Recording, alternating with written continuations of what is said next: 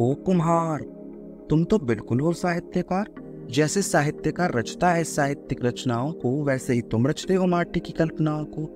जैसे साहित्यकार गूंथता है अपनी साहित्यिक रचनाओं को, बिल्कुल वैसे ही तुम गूंथते हो अपनी माटी की कल्पनाओं को। जैसे साहित्यकार शब्द कणों को जोड़कर रचता है साहित्यिक रचनाएँ, वैसे ही तुम बता कणों को जोड़कर रचते हो माटी की कल्पनाएँ। तुम्हारी माटी की कल्पनाएँ सवर कर उसी तरह हो जाती हैं सजीव जैसे।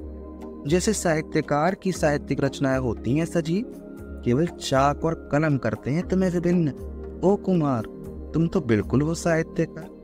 धन्यवाद, आदित्य अहरनिश।